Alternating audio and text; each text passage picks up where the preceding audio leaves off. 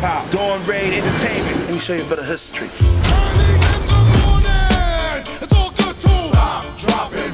Dawn Raid was the first New Zealand hip hop label. We were Polynesians. We had the American stuff on radio, but we had our own voice. When people hear South Auckland, they think nothing good comes from there. My brother John did life in prison.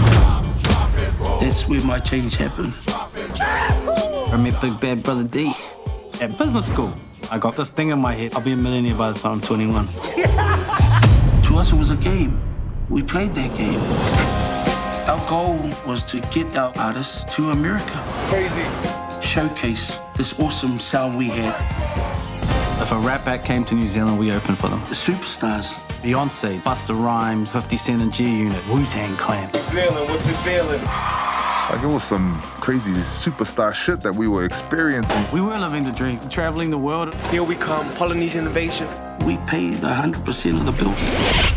That's when we took our eye off the ball. Everything that we'd worked for was slipping through our hands. You spend all your life trying to build something, and then in a moment's time, it's just gone. Sachi cut the check. $50,000 video, $20,000 video. They were just young men. It was starting to get a little bit uncontrollable. Guys that we trusted don't trust anymore. We have a dark part of our heart from what happened.